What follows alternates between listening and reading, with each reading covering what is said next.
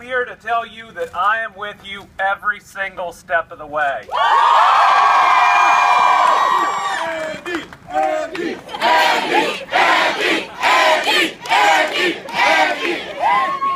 You know, a budget isn't just about numbers, it's about values. It's about what you value. It's about what Kentucky should value. And what does it say when the maximum budget cuts goes towards higher education? That's right, Andy. Absolutely have to fund our universities. We,